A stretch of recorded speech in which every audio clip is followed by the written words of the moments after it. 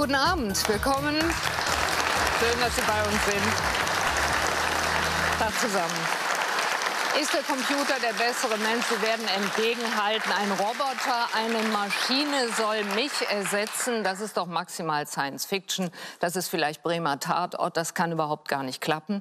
Nur gucken Sie sich mal an, wie weit man da schon ist. Dazu sind bei uns der Psychiater Manfred Spitzer, der sagt, wegen der ganzen Computer und Smartphones verblöden wir komplett.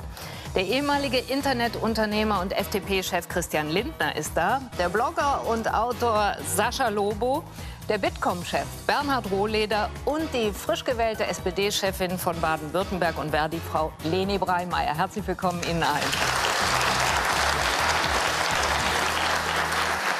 Breimeyer, würden Sie in ein Hotel gehen, wo Sie schon einen Roboter an der Rezeption begrüßt? Nee, das würde ich nicht wollen. Aber ich gehöre auch zu den Leuten, die abends nicht nach halb sieben einkaufen, wenn es irgendwie möglich ist.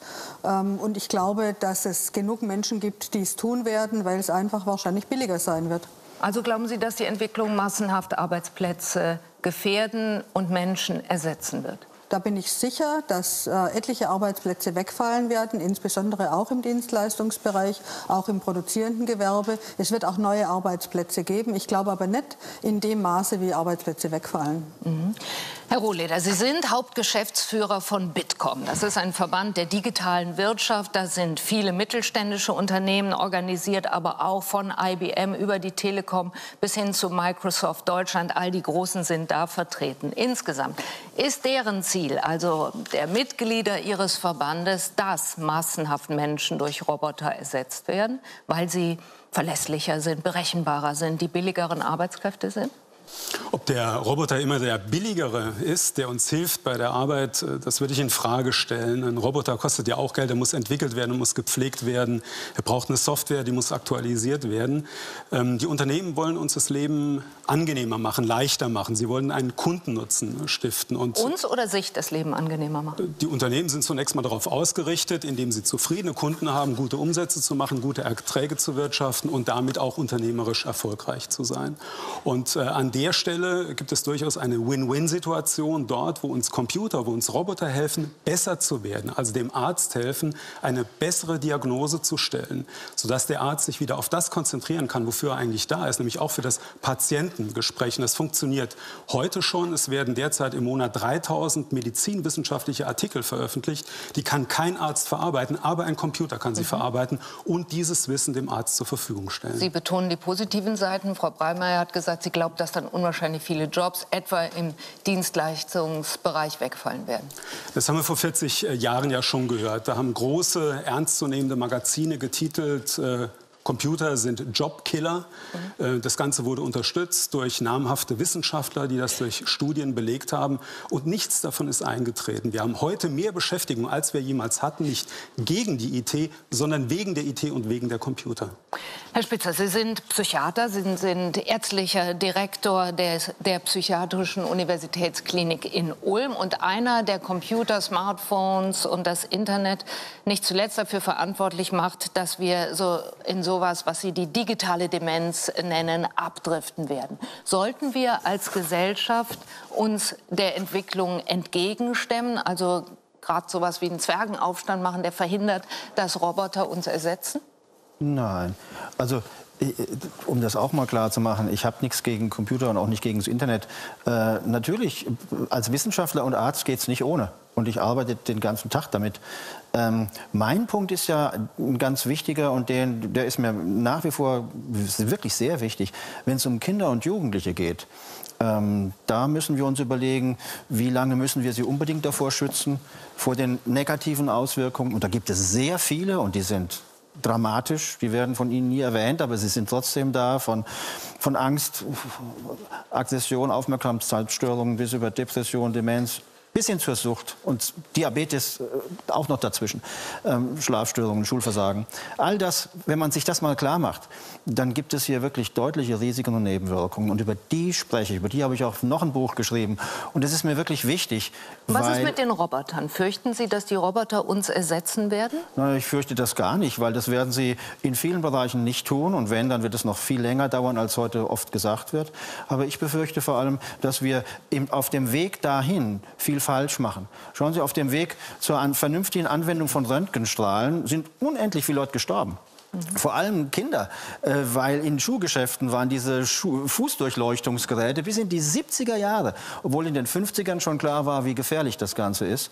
Ähm, aber es hat lang gedauert und gerade Kinder und Jugendliche, die leiden extrem, ob sie das nun selber wissen oder nicht, aber die, die sind gefährdet durch digitale Medien. Äh, wenn eine 13-Jährige drei Stunden in Facebook ist, hat sie die doppelte Chance, mit 18 depressiv zu sein. Das muss man sich mal klar machen. In Südkorea haben wir über 30 Prozent Smartphone-Süchtige. Das geht so weit, dass da, wo Samsung herkommt, die Gesetze geändert wurden und nun junge Leute unter 19 geschützt werden vor den negativen Auswirkungen von Smartphones. Mhm. Also da kann ich nicht sagen, ja, machen wir doch mit. Und, äh, weil es gibt schon Länder, die weiter sind als wir, digital weiter und die ihre jungen Leute vor den Auswirkungen schützen. Die gibt es schon. Wir sind noch nicht so weit. Wir haben ja auch erst 8 Prozent nach der neuesten Studie suchtkranke, äh, Smartphone-suchtkranke äh, Kinder. Herr Lindner, zählen Sie dazu? Nee. Sie sind kein ja, Kind mehr, kind aber mehr, genau. und auch nicht so. Sie dürfen das. Ja, ähm, ich glaube, dass Sie recht haben damit, dass unser Bildungssystem äh, und auch Jugendhilfe noch einiges äh, besser werden müssen, wenn es darum geht, mit digitalen Medien umzugehen. Dabei darf es ja nicht darum gehen, sie komplett aus der Schule oder dem Kinderzimmer äh, zu verbieten, sondern doch, eben so, ja, da bin ich da nicht Ihrer Meinung, weil wir wollen ja realistisch sein. Ich glaube nicht, ja, ich bin realistisch. Die, glaube, die, Realität ist, dass man mit digitalen Punkt, Medien den Unterricht doch, schlechter macht. Lassen, das ist doch die Realität. Ja, das äh, sehen, andere, zu, sehen zu andere Wissenschaftler, Kollegen von Ihnen und andere Gesellschaften Medien. auch anders. Aber äh, müssen wir einen Dissens aushalten. Ich glaube nicht, dass in der Zeit, als das Telefon Telefon noch eine Wählscheibe hatte, alles besser war. Wir müssen nur mit den neuen Möglichkeiten souverän umgehen lernen. Ist gerade eine Aufgabe für die Bildung. Neue Möglichkeiten. Sie haben, Herr Lindner, will ich auch noch mal sagen, als Internetunternehmer äh, gearbeitet im, in der Zeit der New Economy 2000. Äh, das hat nicht ganz so gut geklappt brauchen Sie aber jetzt auch gar keine Wutrede darüber zu halten, denn das kann natürlich passieren. Tatsache ist aber, Sie haben sich mit dem Thema viel befasst, auch unternehmerisch befasst. Deshalb die Frage äh, an Sie, bringt es jetzt eigentlich noch was, große Krokodilstränen zu vergießen über die Entwicklung, die dahin gehen könnte, dass zu, ne, durch eine zunehmende Digitalisierung und auch Automatisierung Menschen durch Computer ersetzt werden, oder ist der Zug abgefahren? Nein, äh, wir sind mitten in einer zweiten industriellen Revolution, deren Ausmaß in Deutschland äh, noch unterschätzt wird. Ähm, was mich an dieser Diskussion, die wir in Deutschland darüber führen, stört, ist, dass sie als eine Art Nullsummenspiel gesehen wird. Das heißt, ähm, wir sehen Arbeitsplätze verschwinden und sagen, oha, jetzt äh, werden Menschen ihrer Existenz beraubt. Aber genau das ist nicht der Fall. Also ich kann mich nicht daran stören, wenn gefährliche Arbeitsplätze, körperlich sehr anstrengende Arbeitsplätze, unangenehme Tätigkeiten automatisiert werden. Mhm. Und die gesellschaftliche Aufgabe, die wir haben, ist, die Menschen, die dort tätig waren, äh, dabei zu unterstützen, eine neue, andere Tätigkeit äh, aufzunehmen, wo sie für ihre Familie den Lebensunterhalt bestreiten können. Wenn wir bei jeder technologischen oder kulturellen Veränderung in Deutschland immer nur die Risiken sehen, dann werden andere für uns die Chancen nutzen und wir gehen leer aus. Das heißt, Sie schauen bei der Entwicklung zu, aber Sie steuern sie auch nicht? Man wird nicht alles steuern können, aber wir können Voraussetzungen schaffen. Also äh, wir haben gerade schon über das Beispiel Bildung gesprochen. Äh, wenn man die Arzthelferin vor, vor äh, 40 Jahren sieht, die hat die Patientenakten geführt. Das läuft alles heute automatisch. Wenn ich aber beim Zahnarzt bin, die Arzthelferin ist es, die einen komplexen Gebissabdruck macht, die die Röntgenmaschine bedient. Das heißt, es ist wesentlich mehr Qualifikation dabei. Denken Sie an den Kfz-Mechaniker von früher, den Schrauber, der heute heute Kfz-Mechatroniker ist und mit IT umgeht. Also der Qualifikationsanteil hat sich erhöht und äh, unsere gesellschaftliche Aufgabe ist es, Menschen durch den Zugang zu bester Bildung in die Lage zu versetzen, auch in der Digitalisierung ihr Leben selbstbestimmt zu führen. Wir haben eben, Sascha Lobe, ja ein paar Beispiele im Film schon mal gezeigt, wo man daran ablesen kann, wie es möglich ist, durch Roboter menschliche Arbeitskraft oder auch Menschen zu ersetzen. Darüber denken wir gerade nach und fragen uns, äh, ich frage Sie, kann man sich der Entwicklung noch mal entgegenstemmen? Spielt also überhaupt eine Rolle, ob wir das wollen oder nicht wollen? Ich glaube schon, dass es eine Rolle spielt. Und ich glaube auch nicht, dass wir da absolut hilflos sind.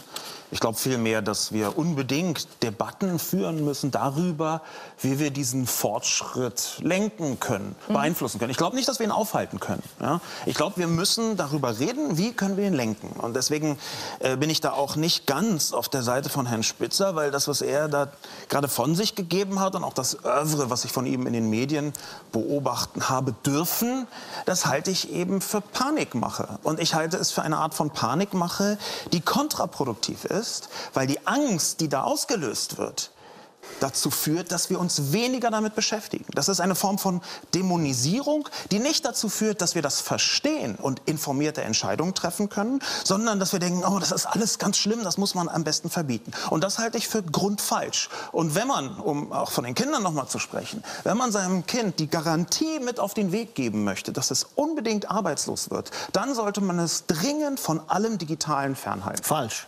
Ganz falsch. Entschuldigung, das ist wirklich ganz falsch. Kinder profitieren von digitalen Medien überhaupt nicht, was ihre Gehirnentwicklung anbelangt. Im Gegenteil, stört die Sprachentwicklung, stört die motorische Entwicklung, stört äh, Feinmotorik. Das ist, die, das ist der, die Grundlage von Denken. Also Kinder nehmen großen Schaden. Das ist ganz wichtig.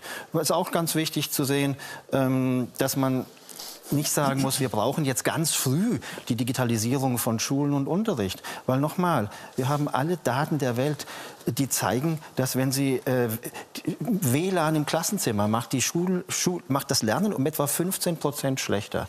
Googeln ist die schlechteste Art des Wissenserwerbs. Aber das liegt, Moment mal, das liegt daran, dass, Spitzer, ne, das liegt daran, Sie, dass wir doch, keine Computer im Kopf haben. Fangen Sie doch mal an, wenigstens einen Hauch zu differenzieren. Moment mal, das Sie können doch nicht sagen, dass etwas Komplexes Moment mal, das die digitale tun, Sphäre Lobo, auf alle Menschen, auf alle Kinder gleich wirkt. Das ist doch Unfug. Moment mal, das tun Sie gerade nicht. Sie haben auch eben gerade gesagt, ähm, dass die digitalen Medien ähm, dass, dass, dass ich die verteufeln würde. Was, das stimmt alles überhaupt nicht. Dämonisieren, bitte, ne? das, da ist die Wortwahl ja, gut, sehr wichtig. Der, der Dämon halt. Aber mein, mein Punkt ist doch der, die schaden und zwar die schaden nachgewiesenermaßen jungen Menschen. Und es ist glaube, eben nicht. Ich glaube, dass die, die Perspektive, die darauf Sie einnehmen, dass die grundsätzlich falsch ist. Sie möchten beweisen, Wasser ist tödlich. Also was machen Sie? Sie holen ein paar Nichtschwimmer und werfen die ins Meer. Und Sie Aber möchten ich sage, beweisen, nein, es kommt darauf an, wie wir dieses Wasser verwenden. Sie möchten wir beweisen, Cola ist gesund und haben einen, einen Mann auf der Insel, der gerade am Verhungern und am Verdursten ist. Und jetzt kommt eine Cola, jetzt kommt eine Colaflasche angeschwommen und deswegen hat er gewonnen. Sie gestatten mir, dass ich zwischen die Metaphorik mich noch mal äh, reinklinke und äh, zurück will zu den, den Realitäten. Ich würde gerne zurück äh, oder also auch bleiben, ja, bei Realitäten und bei der Frage, was machen Roboter mit den Realitäten und auch mit unserer Realität? An dem Punkt waren wir gerade. Und ich will weiterbleiben, äh, wenn Sie gestatten, und noch mal gucken, was können Roboter heute schon und was ähm, ersetzen sie damit auch? Funktioniert das, funktioniert das nicht? Hoch soll er leben. Was spricht dagegen, dass alte Menschen von Robotern gepflegt werden? Ich kann mir es nicht vorstellen und ich wünsche mir keine Welt, in der, was weiß ich, die Kassenpatienten von Robotern gepflegt werden und die anderen irgendwie die feinen Pflegekräfte um sich herum haben. Ich finde, dass ähm, Aber wenn man Roboter, da sieht, zum Beispiel, dass ein Roboter schwer hebt, ich glaub, kann ja, das dann einer Pflegerin ja, nicht helfen, nee, weil sie okay. sich nicht mehr irgendwie einen Bandscheibenvorfall oder was nee, weiß ich? ich glaube, dass äh, unterstützend äh, bei was weiß ich, schweres Tragen und so weiter ein Roboter durchaus eine hilfreiche Einrichtung sein kann. Aber er setzt die menschliche Zuwendung einer Pflegekraft wird ein Roboter nie ersetzen können. Mhm.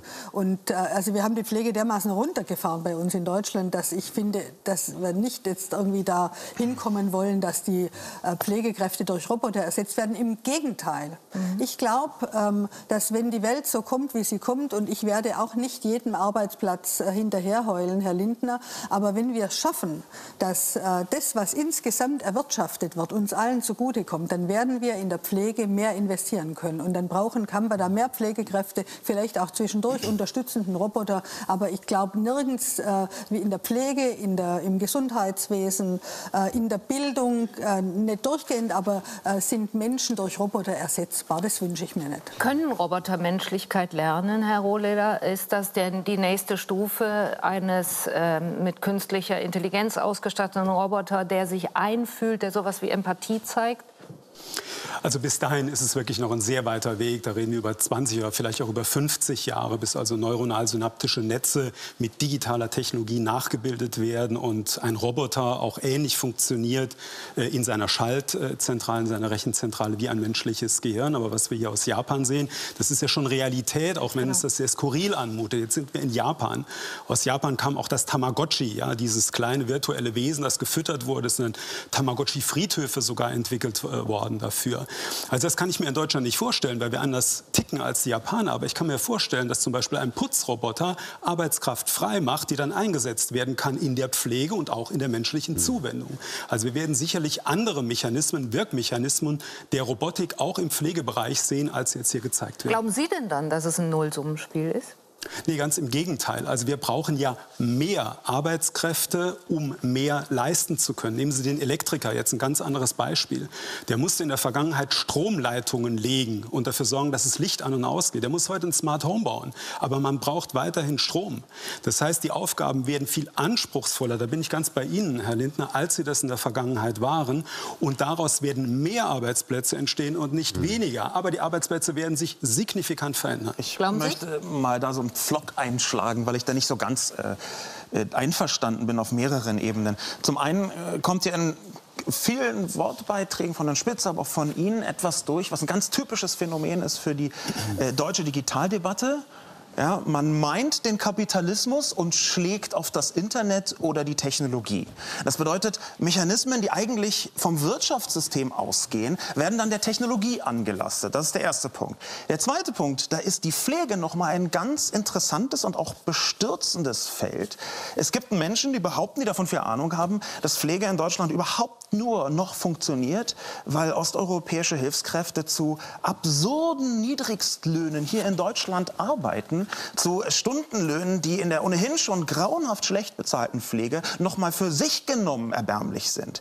Da ist die Fragestellung gar nicht mehr, kann ein Roboter das leisten, sondern die Fragestellung ist eine andere. Ist da überhaupt noch menschenwürdig bezahlte Arbeit möglich in diesen Sphären? Und, Und das kommt ist für mich es dann so, wie Frau Breimeyer sagt, Kassenpatienten, diejenigen, die nicht viel Geld aufbringen können, werden dann von Robotern gepflegt, die anderen können sich Menschen leisten? Das ist ja heute schon so, dass es da qualitative Unterschiede im Gesundheitssystem System gibt. Natürlich wird es so kommen und natürlich wird es auch so sein, dass Aber das Roboter Moment, natürlich Nein, wird es auch Roboter akzeptieren. Roboter werden nicht die einzigen sein, die Menschen pflegen über bestimmt noch fünf Jahre. Da müssen Sie sich keine Sorgen machen. Aber da wird es eine ganze Zeit geben, wo Roboter natürlich die Arbeit unterstützen. Und das führt zu einem nächsten Problem, nämlich ein Problem der Aufspreizung, dass immer mehr Wissen in die Roboter hineinwandert und sich deswegen Arbeitsplätze aufteilen in hochbezahlte Arbeitsplätze zur Bau, zum Bau und zur Pflege dieser Roboter und Arbeitsplätze, die sehr niedrig bezahlt sind, weil das Wissen, um diese Arbeit verrichten zu können, in den Robotern steckt. Herr Lindner, ist das so, dass das mit einer gigantischen Spaltung einhergeht? Sowohl was haben wir angesprochen, die Situation von Menschen angeht, die gepflegt werden müssen, um bei dem Beispiel zu bleiben. Und insgesamt, äh, dass nur noch die überleben und auch sich wahnsinnig gut stehen, die programmieren können und die anderen eben nicht? Nein, das glaube ich gar nicht. Und wir müssen aufpassen, dass, wenn wir so weiter diskutieren, wir nicht ein historisches Dokument hier produzieren heute Abend, das in 25 Jahren äh, zur Unterhaltung der Leute beiträgt, wie man sich doch hat irren können und welche großen Ängste im Jahr 2016 angesichts dieser Zivilisationschance digital Digitalisierung bestanden haben. Würden Sie sich denn pflegen lassen von einem Nein, Roboter? und das wird auch nicht so kommen. Aber Sie sind ja auch privat versichert bestimmt. Äh, unabhängig... Ich unab auch, also ich mache Ihnen keinen Vorwurf. Ja, aber trotzdem, äh, ich kann privat versichert sein und trotzdem die Interessen gesetzlich versicherter Patienten vertreten können, weil ich nämlich äh, ähm, äh, eine Verpflichtung auf das deutsche Volk habe. Also insofern lassen wir uns jetzt nicht, nicht auf die nicht Ebene... Nur auf die FDP, lassen wir nicht auf die, auf, auf die Ebene äh, abdriften. Übrigens, nicht jeder Privatversicherte ist ein Besserverdiener. Denken Sie an Polizeibeamte, die sind auch alle privat versichert. So, aber jetzt zurück äh, zum Thema, äh, Frau Will. Äh, ich glaube, dass ähm, wir... Frage war, ob Sie sich pflegen lassen Nein, würden. möchte ich nicht. Und ich, im Gegenteil müssen wir doch wahrnehmen, wir sind eine alternde Gesellschaft. Ja. Wir werden in den nächsten Jahren also Millionen Menschen haben, die aus dem aktiven Teil der Gesellschaft in den Ruhestand wechseln. Und Digitalisierung, auch Automatisierung, unser Wort hier heute Abend dafür ist Roboter, ja. das ist eine Chance dass wir bei weniger Menschen, die im Berufsleben sind, trotzdem unseren Wohlstand erhalten können, weil wir nämlich das Problem des Fachkräftemangels auch technologisch lösen können. Unsere Aufgabe wird jetzt aber zukünftig sein, dass aus vorhandener Arbeit tatsächlich Jobs werden. Denn wir haben doch Defizite. Äh, eben konnte ich zustimmen, als Sie das auch äh, aufgezählt haben. Bildung, Erziehung, Gesundheit, Pflege, Infrastruktur. Das sind doch Bereiche, die notleidend sind. Man müsste hinzufügen, noch öffentliche Sicherheit, äh, wo Menschen eher zusätzlich gebraucht werden. Und insofern werden wir erleben einen Umbau der Arbeitswelt. Es wird geben Mensch mit Maschine, also zum Beispiel die Pflegerin, der geholfen wird, durch eine Maschine einen äh, schweren Pflegebedürftigen zu tragen, damit sie selber nicht körperlich Schaden nimmt über lange Zeit. Wir werden auf der anderen Seite viele kreative Berufe haben, kreativere, selbstbestimmtere Berufe als heute. Da ist die Voraussetzung, die wir seitens der Politik schaffen müssen, individuelle Qualifikation. Mhm. Da können wir nicht hinnehmen, dass 50.000 junge Menschen jedes Jahr die Schule ohne Abschluss verlassen. Die haben in einer Wissensökonomie nämlich, nämlich natürlich genau keine Chance mehr. Aber alles unter dem Strich diskutieren wir mit negativen Vorzeichen. Dabei sollten wir jetzt alles tun, um zu gestalten, dass wir daraus für unsere Gesellschaft einen Gewinn machen. Frau Brauermeier. Damit wir uns das leisten können. Wir sind beieinander, aber um, damit wir uns das leisten können, müssen wir schauen, wie, wie wird das funktionieren mit der digitalen Rendite? Wie, wie wird es funktionieren? Was ist gemeint wenn, mit digitale Rendite? Wenn, wenn der Taxifahrer morgen nicht mehr Taxi fährt, wenn der Paketausfahrer morgen keine Pakete mehr ausfährt, weil wenn der Lkw-Fahrer morgen kein Lkw-Fahrer mehr ist, weil die Fahrzeuge alle selber fahren, wird damit trotzdem immer noch Geld verdienen. Und die Frage ist, oder 3D-Druckerhaus, äh, wenn, wenn diese riesen Drucker kommen und die Häuser im 3D-Drucker aus ausdrucken, dann brauche ich keinen Dachdecker mehr und keinen Bauarbeiter mehr. Die Frage ist, wem kommt das zugute? Ist es der Typ, der den Drucker erfunden hat? Ist es der, der den Drucker gekauft hat? Ist es der Häuslichbauer oder ist es die gesamte Gesellschaft? Und ich glaube, so wie Sie auch sprechen, muss es die gesamte Gesellschaft sein. Sonst können wir mehr Bildung, mehr Pflege uns nicht leisten. Aber wie kommen wir dann dahin? Was muss wer tun, damit wir uns das als Gesellschaft leisten können? Das ist die zentrale Frage für mich bei dem ganzen Thema. Es ist nicht um jeden Arbeitsplatz schade und ich kann mir vorstellen, dass die Enkelin des Dachdeckers äh, sehr wohl nachher entweder als Programmiererin tätig ist oder irgendwo im IKT-Bereich, aber natürlich auch in der Pflege. Aber wir müssen es uns leisten können. Und das müssen wir, das, das fällt nicht vom Himmel. Das wird der Markt nicht von alleine machen. Ist das eine gute Idee, eine Art digitale Rendite, also ähm, eine neue Steuer? Ja, eine ja, Art von genau. Umverteilung Wir machen eine neue Steuer. Die Debatte gab es auch schon. In den 70er und 80er Jahren wollte man eine Maschinensteuer, wollte man eine Maschinensteuer einführen, Ist weil gar nicht mehr so durch, alt. durch die Computer fallen so viele. sagt das auch. Genau, und der österreichische Bundeskanzler sagt es auch. Ja. Nur wir haben doch also historische Erfahrungen gemacht. Es äh, war die Vorstellung, der Computer ersetzt Arbeitsplätze, die gehen verloren. Also brauchen wir eine Maschinensteuer, um das auszugleichen. Ist das, das Ergebnis, fair? nein, das Ergebnis der Einführung des Computers Mythos war, es sind mehr Arbeitsplätze entstanden in Deutschland insgesamt und sie waren in der Tendenz zu den 60er und 70er Jahren auch qualifizierter. Also was Sie sagen, ich glaube nicht daran, dass wir genau diesen, diesen Weg gehen, dass ähm, wir wenige haben, die von der Digitalisierung profitieren, sondern ich glaube, dass viele, die qualifiziert sind, profitieren werden, weil nämlich menschliche Arbeitskraft, insbesondere die von qualifizierten Menschen, knapp werden wird.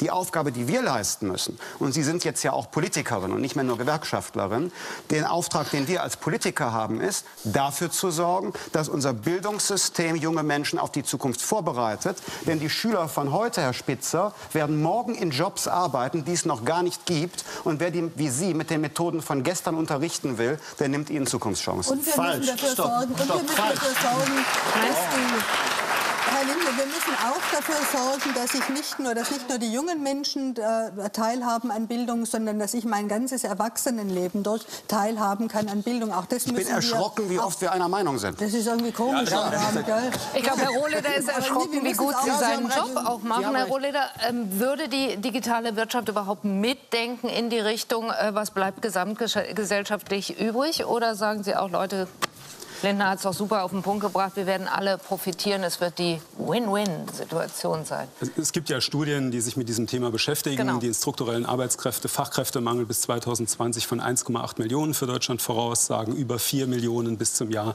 2030. Äh, äh, die Frage ist insofern weniger die der Umverteilung von Rendite als die Frage, wie schaffen wir es, die Unternehmen so auszustatten mit qualifizierten Mitarbeitern, dass sie überhaupt eine Rendite erwirtschaften können. Und den Nachweis, den müssen wir zuerst bringen. Es sind nämlich nicht die deutschen Unternehmen, die diese von Ihnen so bezeichnete digitale Rendite erwirtschaften. Wir hatten ja schon mal Digitalisierung. Das war die erste Internetwelle. Damals gab es in der Kommunikationstechnik 200.000 Beschäftigte in Deutschland. Nach zehn Jahren digitalisiert waren noch 20.000 übrig. 20 von 200.000. Und weshalb waren es nur noch 20.000? Weil wir niemanden hatten in Deutschland Ende der 90er, der Internet konnte. Die waren alle in den USA. Und dafür müssen wir sorgen. Wir müssen die Leute so klug, so schlau und so kompetent machen, dass sie diese digitale Rendite erwirtschaften. Und da müssen wir über Umverteilung gar nicht reden, weil jeder Teilhabe hat an dieser neuen digitalen Welt. Beispiel, was macht die 35-jährige Supermarktkassiererin, die jetzt plötzlich ersetzt wird äh, durch diese, diese Kasse, in der man selber einscannen kann und dann aus dem Geschäft das denn so oft? Ich sehe es. Ja. Also ich weiß nicht, wie ja, das ist ja dann das ist mindestens einmal in der Woche. Und äh, da in meinem Umfeld gibt es einen einzigen Supermarkt in Düsseldorf, der das einsetzt. Und äh, die Leute gehen trotzdem lieber zu der Kasse, wo ein Mensch sitzt. Ganz genau. Das spricht gegen die Digitalisierung. Ich, glaube, ich gehe mit Digitalisierung. Sie beide jetzt aber nicht, Vorbereitung der sorry, nicht, nicht, nicht alles, was technisch möglich ist, wird auch passieren, will ich damit ah. sagen, weil es sich nicht rechnet oder weil es nicht angenommen wird. Ich möchte hier schon noch mal ein bisschen ähm, Wein in ihr Wasser reingießen, weil ich glaube, dass wir hier von ganz falschen Voraussetzungen ausgehen. Ja, war ein Scherz. Ähm, von ganz falschen äh, Voraussetzungen äh, ausgehen. Wir denken immer, dass es da eine vollständige Ersetzung gibt der Arbeitskräfte. Mhm. Aber ich glaube nicht, dass das das große Problem Problem sein wird, was auf uns zukommt. Das habe ich vorher versucht zu skizzieren. Das Problem wird sein, dass es eine Aufspreizung gibt, dass es immer mehr Jobs gibt, für die man ganz gering qualifiziert nur sein muss, weil das prozessuale Wissen für diese Arbeit in der Maschine steckt und dass es immer weniger Jobs gibt, die wirklich sich auch lohnen, weil sie hochbezahlt sind. Die gibt es nach wie vor. Aber es gibt sehr viel mehr Menschen, die für kleines Geld arbeiten müssen in einem gering qualifizierten Job. Ich habe da äh, ein Zitat Warum? von... Weil da hätte ich jetzt gedacht, das machen dann Maschinen eben genau.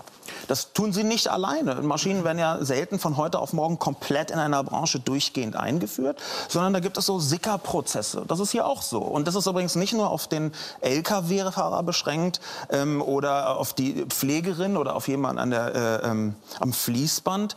Ähm, ich zitiere mal den Herrn Frank Schirmacher, der gesagt hat, mhm. Ähm, das Internet ist die Dampfmaschine des Geistes, will sagen, natürlich reden wir hier eigentlich nicht nur von Robotern, sondern auch von elektronischen Prozessen die geistige Arbeit mit ersetzen können. Mhm. Und auch das ist heute schon spürbar. Deswegen glaube ich, wir müssen uns dem Thema Arbeit ganz neu stellen. Wir brauchen vielleicht sogar einen neuen Arbeitsbegriff. Das stelle ich mal als These in den Raum. In jedem Fall müssen wir uns aber darüber unterhalten, was passiert, wenn es irgendwann nur noch wenige hochbezahlte Jobs gibt im Herzen der Technologie und viele, viele, zu viele Jobs, die eben sehr gering bezahlt sind. Das ist für mich das eigentliche Problem und nicht nicht so stark die Automatisierung selbst. Und wir müssen gucken, was die Leute für einen Status haben. Wenn wir lauter kleine Selbstständige haben, wir haben in Stuttgart inzwischen, glaube ich, 60.000 äh, Freiberufler und Selbstständige, äh, da müssen wir auch gucken, wie kriegen wir die Menschen künftig dann noch in unsere Sozialsysteme rein. Das heißt, ähm, wenn ich irgendwie äh, diese Clickworker oder was auch immer, das sind heute in Deutschland noch kleine Anteile, das werden größere Anteile sein. Vielleicht sind wir jetzt mal uneinig, ja, Herr Lindner. Es, es, es so, deutet sich an. Ja, ja. Zeit, Gott,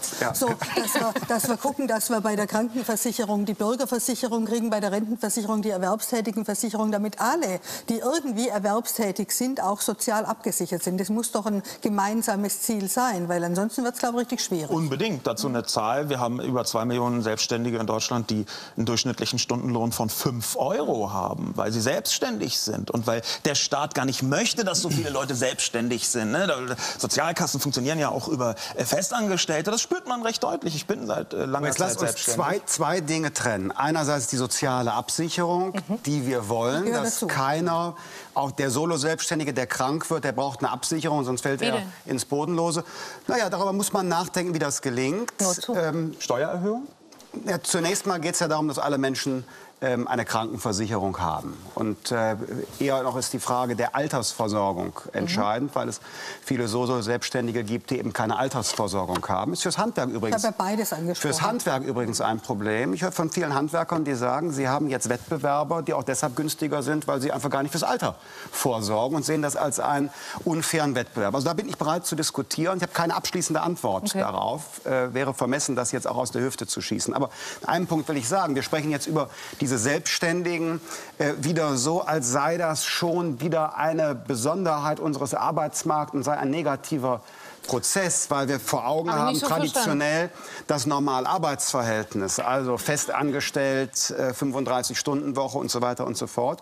Wir müssen zur Kenntnis nehmen, viele Menschen wollen auch gerne selbstständig sein. Würden aber auch gerne Sie was dafür verdienen. Herr Lobo Ja, sagte, sie sind dann vielleicht- schlecht bezahlt. Vielleicht sind Berufen. diejenigen, Das die da schlecht bezahlt sind, ja Studierende, die das nebenbei machen. Also genau hinschauen. Äh, Ich bin zunächst der Auffassung, dass sehr viel mehr Menschen in Deutschland den Wunsch haben, eher selbstbestimmt zu arbeiten und vielleicht eher von der Bürokratie in Ruhe gelassen äh, zu werden, als dass sie sich wünschen, dass wir als Politik jetzt noch stärker in ihr Leben eingreifen. Schauen wir uns mal an, wie man sich darauf einstellt, auf diese digitale äh, Revolution. Denn ist, ist ja die Frage, poppte hier schon ein, zwei, dreimal auf. Wie kommt man dabei dann mit? Wahrscheinlich am besten, indem man sehr, sehr früh einsteigt. Herr Spitzer, in den Schulen, in den deutschen Schulen gibt es kaum Computer. Programmiersprache lernen ist kein Standardfach. Kann Deutschland sich das leisten, so fahrlässig mit der Zukunft seiner Kinder Ja, umzugehen? Völlig falsch, Entschuldigung. Ähm, Das haben Sie jetzt, glaube ich, schon dreimal heute in ja, der Sendung gesagt. Falsch. Ich, bin auch nicht, man konnte dann nichts mehr sagen, weil das wurde immer abgewürgt. Aber ich muss es jetzt mal ganz klar sagen: Kinder sind keine Computer. Menschen machen keinen Download.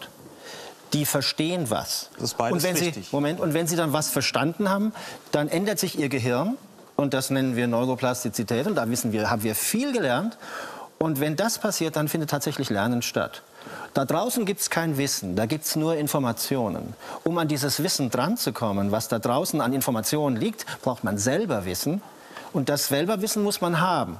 Das heißt, wir können auch nicht zum Beispiel Wissen durch Google ersetzen, weil man muss schon was wissen, um überhaupt googeln zu können. Denn wenn man keine Ahnung hat und man googelt zum Beispiel in der Medizin, dann kriegt man Morbus Google. Das ist auch schon, können Sie selber googeln, das wissen wir wieder, was da, was da passiert. Nämlich man wird umso ängstlicher und, und verschreckter. Und das kostet sogar unser Gesundheitssystem mittlerweile schon Geld. Aber Wissen muss man ja auch lernen, haben Sie gerade Ja, und selber das gesagt. Lernen geht das eben nicht am Rechner. Jetzt, das geht eben nicht am Rechner. Es gibt eine große Was PISA-Studie. ist, wenn Ich man weiß, Moment mal. programmieren? Darf ich es fragen? Programmieren wenn man darf jeder programmieren lernen. Das macht man aber nicht in der dritten Klasse, nicht in der sechsten Klasse, sondern vielleicht ab der achten. Weil man muss schon ein bisschen Vorwissen haben und ein bisschen logische Pro Prozesse können und auch schon ein bisschen logisch denken können, um das zu lernen. Mhm. Keiner, der ein Smartphone äh, vor sich hat, lernt da Programmieren in der U-Bahn oder sonst irgendwo. Klar. Und nochmal, was da eben gerade gesagt wurde, ist einfach nur Unsinn. Wo, wann, wir was, wissen, wie, wir wissen Folgendes. gesagt? Wir wissen Folgendes.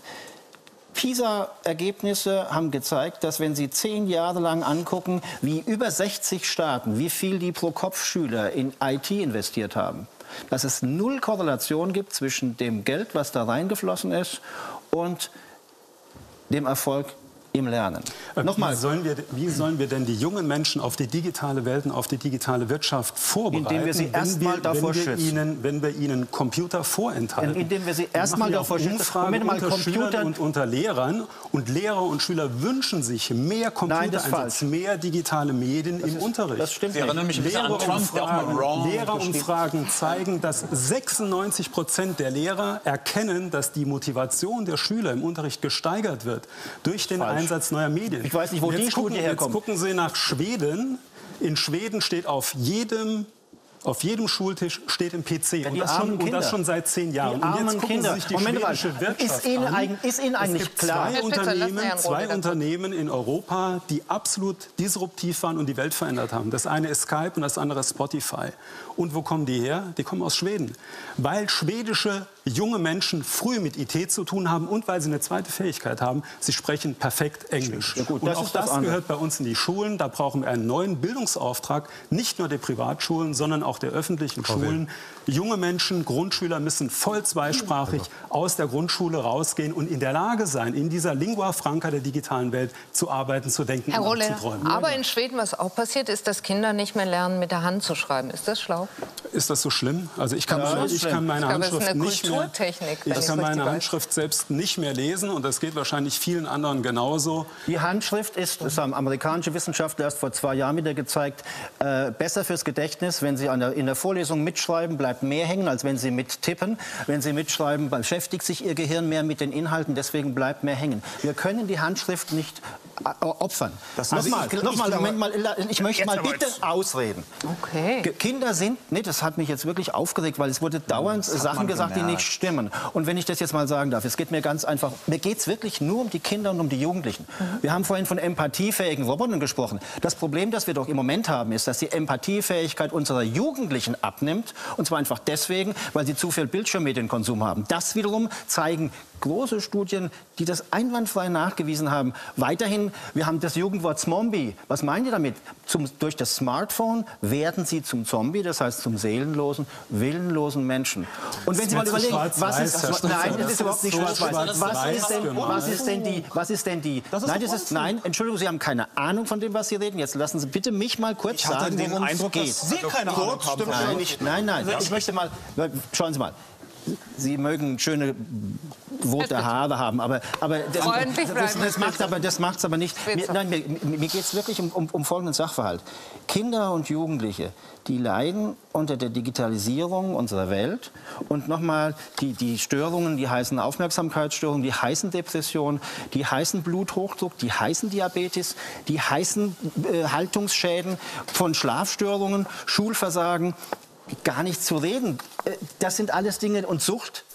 Waren Sie über der, ich bestritten hat, äh, das Internet zu dämonisieren? Oder habe ich das falsch verstanden? Ich hab, ich, ich, ich- ich, Im Moment dämonisiere ich nicht. Ich zähle den Inhalt wissenschaftlicher Studien auf. Und das ist, nicht. nein, ich Sie differenziere. Moment mal, Sie differenzieren im. Moment doch überhaupt nicht, indem Sie Ich einfach widerspreche sagen. Ihnen nur. Ich widerspreche Ihnen. Und das nur. können ich Sie- Frage stellen, versuche Herr zu differenzieren, denn wir Herr haben eine. Vielzahl von Problemen. Wir Herr haben eine Lobo, Vielzahl von ja, und wir Problemen haben mit eine Vielzahl von Problemen und jetzt lasse ich Sie mal nicht ausreden und Herr die darin bestehen und die darin bestehen, dass es ganz wichtig ist, dass wir die Kollateralschäden, die die Digitalisierung derzeit bringt. Sie haben von Destruktion Darf ich was fragen, gesprochen. Herr Spitzer? Das ist Herr Angst Spitzer. machen. Sie sagen doch auch, Herr das Spitzer, Fernsehen Angst machen. Herr Spitzer, können Sie mich hören? Das- Und, und das- wenn Sie das ernst meinen, das Fernsehen dann macht begehen Sie jetzt hier vorsätzliche Körperverletzungen. Moment mal gerade. Herr Spitzer, darf ich Sie... Fernsehen macht dick, dumm und gewalttätig und wer das, wer das leugnet, hat die Sie sind Studien dazu Fernsehen. nicht gelesen. Er hat die Studien dazu nicht gelesen. Herr Spitzer, darf ich jetzt mal was fragen? Wie schlagen Sie denn vor? Kann man jungen Menschen, die in eine Welt hineinwachsen, die sehr digitalisiert, möglicherweise ganz durchdigitalisiert ist, wie kann man diesen Menschen in, von mir aus in ihrem Sinne vernünftig beibringen, dass sie sich mit Computern auskennen? Zunächst mal müssen sich junge Menschen nicht ganz früh mit Computern auskennen. Zweitens müssen wir sie vor digitalen Medien schützen. Ich kann nicht genau sagen, bis wann. Ähm, das kann sein bis 14, das kann sein bis 16, weil bis dahin, nach allem, was, wie gesagt, nach, was klar ist, ähm, Schaden richten die größten Schaden an als Nutzen.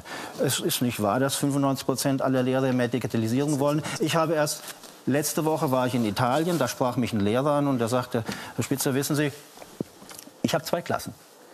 Die eine, die haben alles digital und auch ein Smartboard und iPads und die andere, die haben K- Kreide, Tafel und Bücher. Und ich sehe jeden Tag, dass die, die traditionell unterrichtet werden, und zwar von mir, ich bin der gleiche Lehrer, dass die besser sind. Die sind weniger abgelenkt, die lernen mehr. Aber wissen Sie was, sagte mir auch, wenn ich digital unterrichte, ich habe nämlich eine Qualifikation gemacht und wenn man die gemacht hat in Italien, verdient man mehr. Ich verdiene also mehr, wenn ich schlechteren Unterricht mache. Also und das sagen ich mir nicht nur, das daran nicht nur ich ich könnte jetzt noch ganz, nicht. Ich wusste, dass Sie mir jetzt ins Worte fallen. Ich Lassen Sie mich bitte mal kurz ausreden. Lassen Sie mich bitte kurz ausreden. Herr Professor Spitzer, Sie haben jetzt wirklich die allerlängste Redezeit von allen hier in der Runde Ich möchte gehabt. noch mal ganz kurz Und sagen. Sie sind das lebende Beispiel dafür, dass der Verzicht auf digitale Medien nicht zu besseren Umgangsformen führt. Das will ich, Ich Ihnen auch arbeite sagen den ganzen Tag mit digitalen Medien.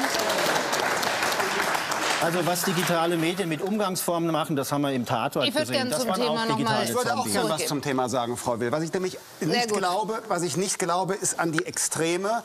Verlust der Handschrift kein Problem und totaler Verzicht auf digitale Medien für junge gesagt. Leute. Sie haben gerade 14, 16. Ja. Ja, also entschuldigen Sie, das sind dann junge Erwachsene. Bis dahin, bis dahin wollen Sie die Menschen, die jungen Menschen von allen Möglichkeiten fernhalten. Das gibt es ja bei den Amish People in den USA, die irgendwo komplett Vorschlag, Herr Ich, ich, frage Sie mal was. Sie haben ein doch immer auch- 14-Jähriger Sie haben ein doch- 14-Jähriger darf Herr Segel Spitzer. fliegen. Sie wollten Warum darf ein auch- 14-Jähriger Sie wollten- Segel fliegen, aber nicht. Auto fahren? Wir lassen die Leute Auto fahren.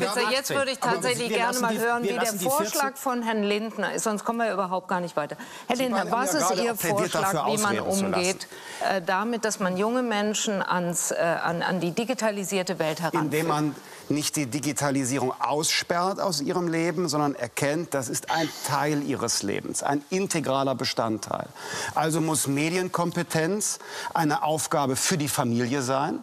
Also wenn es mehr, mehr Fernbedienungen und Smartphones in einem Kinderzimmer gibt als Bücher, dann ist das kein Versagen des öffentlichen Bildungssystems, sondern es Doch. hat auch was zu tun mit dem Erziehungsauftrag der Eltern. Und zum anderen haben wir Medienkompetenz.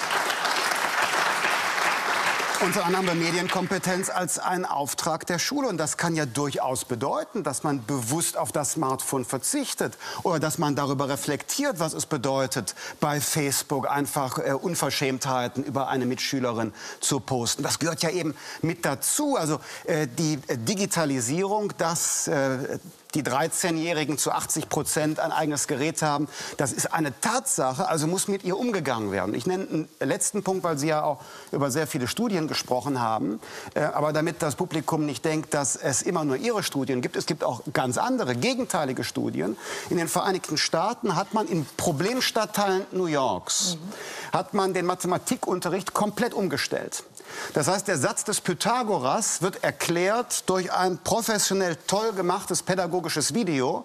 Und die Lehrer machen dann nicht mehr für eine Gruppe gleich alter, altriger äh, Schüler, die zufällig im gleichen Raum sind, den exakt gleichen Unterricht, sondern die Lehrer sind nur noch dafür da, dann individuell mit den Schülern zu sprechen. Die Lehrer unterrichten also nicht Standardlehrstoff, sondern Schülerinnen und Schüler, indem sie sie persönlich coachen und fragen, was hast du nicht verstanden, welche Aufgabe können wir machen. Und die Ergebnisse 2007 hat man damit begonnen, sind, dass die Schulen, die vorher unter dem Durchschnitt der Vereinigten Staaten waren, jetzt in einem Schuljahr den Stoff von anderthalb Schuljahren leisten. In Schulen, wo 80 Prozent der Schüler Free Lunch haben, also in Deutschland würde man sagen, sozialhilfeberechtigt sind. Und das zeigt, Digitalisierung ist auch eine Chance. Wenn man sie richtig einsetzt, pädagogisch einsetzt, ist eine Chance, die individuelle Förderung junger Menschen zu verbessern und nicht zu verschlechtern. Die Studie würde ich, die Studie zweifle ich Ich wollte jetzt noch, ich wollte, ich wollte jetzt noch mal ganz kurz auf das äh, reagieren, Herr, Herr Spitzer. Sie haben ja vorher mich angegriffen und gesagt, hab, ich habe keine Ahnung. Ich würde da gerne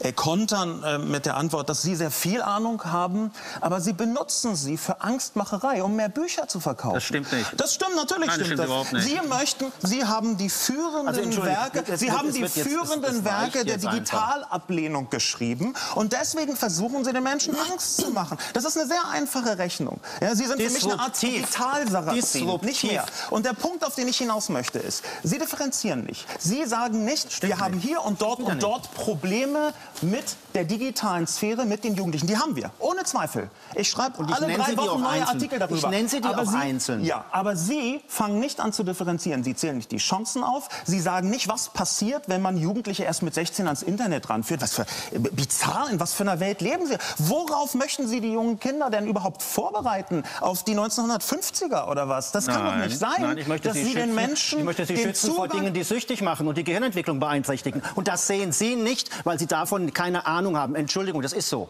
Da- Ich möchte Kinder Sie haben nicht die Bohne einer Ahnung von der möchte die- digitalen Sphäre. Mich die interessiert, Dinge- nicht, ich mich möchte die- interessiert nicht, was Sie glauben, was süchtig macht oder nicht. Was mich Da- interessiert, Darauf kommt es nicht an. Was ich glaube, es kommt darauf an, was in der wissenschaftlichen was mich Literatur interessiert, ist, wie die Welt ist. dort draußen sich verändert. Das Und sehe ich auch, jeden sich, Tag. Sie Wissen Sie was, ich habe Patienten, die spielen Weise- 18 Stunden World of Warcraft und die sind völlig kaputt. Haben Sie Bekannte? Nein. Herr Spitzer, Die, die ganz kommen nicht mehr klar. bestreitet niemand. Die kommen überhaupt nicht mehr klar. Vor denen haben wir eine eine halbe Million in Deutschland alleine. Das sagt unsere Suchtbeauftragte. Und ich habe mit denen jeden Tag zu tun. Wissen Sie, ich weiß, was es heißt, dass digitale Medien tatsächlich Probleme machen können. Das weiß ich. Und das lasse ich von Ihnen nicht mehr sagen, weil ich davon keine Ahnung.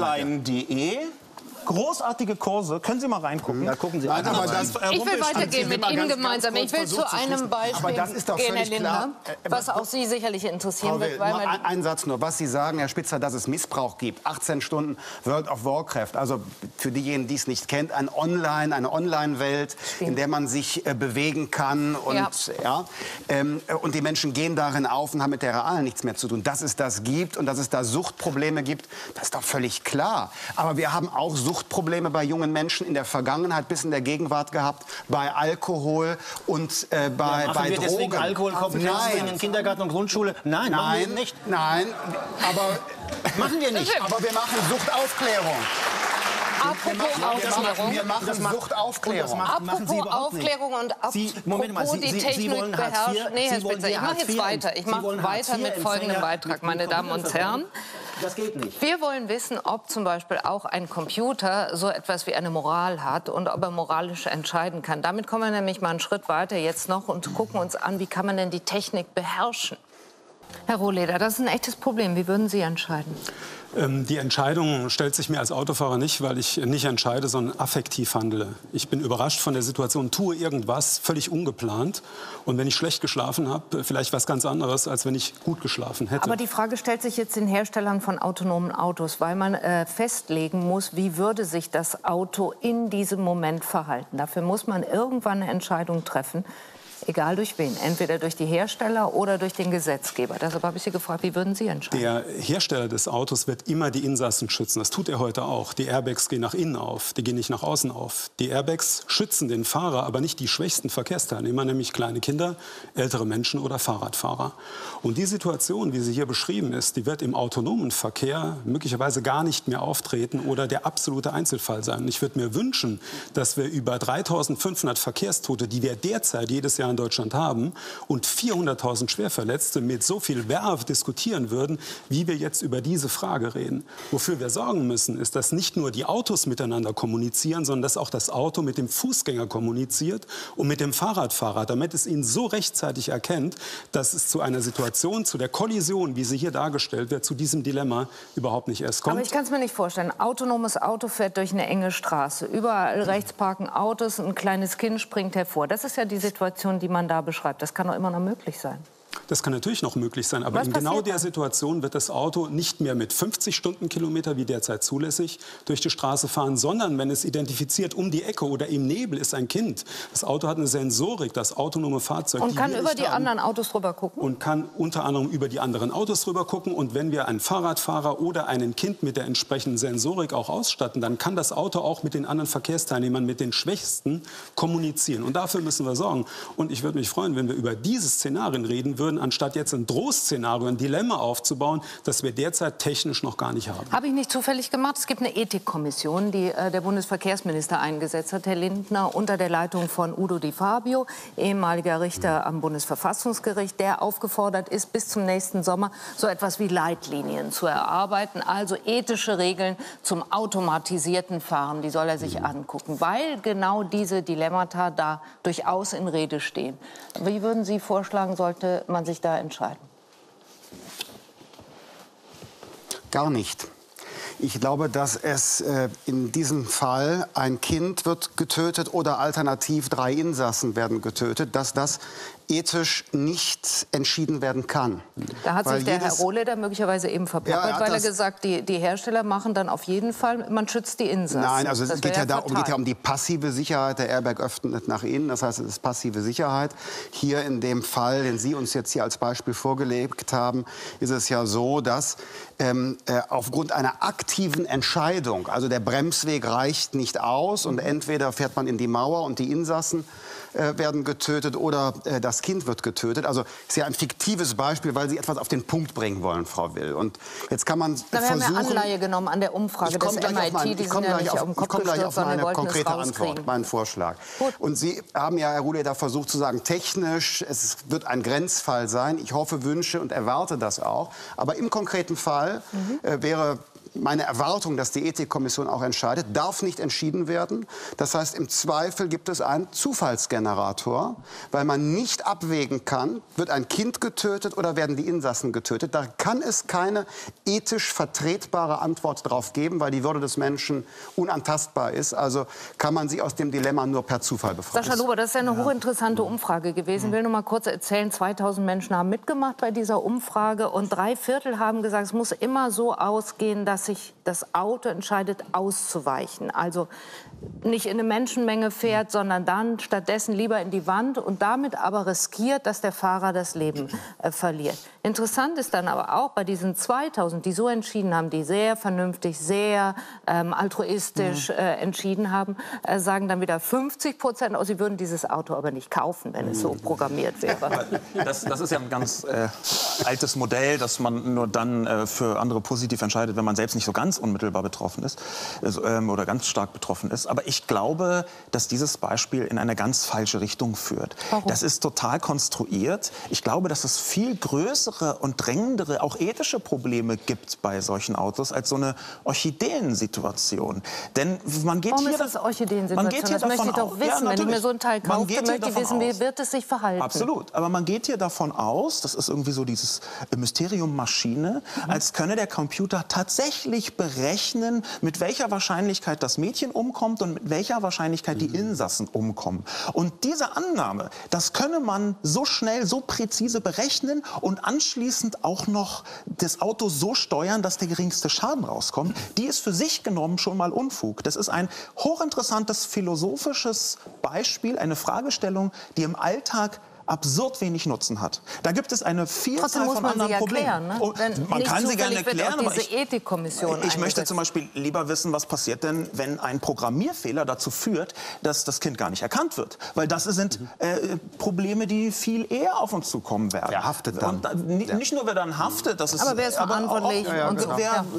Wie kommt das, wie kann man das vermeiden? Ich glaube, es, Und? gerade weil in Technologie so wahnsinnig viel rein mystifiziert wird, weil man denkt, es ist, gleichzeitig kann es alles und es ist ständig fehleranfällig, dass man übersieht, dass noch relativ viel in diesem Bereich einfach ausprobieren ist. Dass man in vielen Bereichen schon verstörend weit ist und in anderen, in anderen Bereichen eben noch vergleichsweise wenig erst kann. Und dieser Bereich gehört dazu, weil das Leben so chaotisch ist und der Verkehr so vielfältig ist und so mit merkwürdigen Situationen auf uns zukommt, dass da eher die Ausnahme die Regel sein wird. Und wie gehen wir dann damit um? Das ist für mich eine viel drängendere Frage. Ich fand ganz interessant, dass Herr Di Fabio, ähm, bevor er dann die Arbeit aufnahm, gesagt hat, eine Grundsatzfrage in dem Zusammenhang sei auf jeden Fall auch, wie viel Automatisierung und welche menschliche Eingriffsmöglichkeiten eine Gesellschaft wolle. Darüber haben wir den ganzen Abend schon diskutiert. Das klingt ein bisschen danach, als wolle Di Fabio die Frage stellen, kriegen wir den Geist wieder zurück in die Flasche?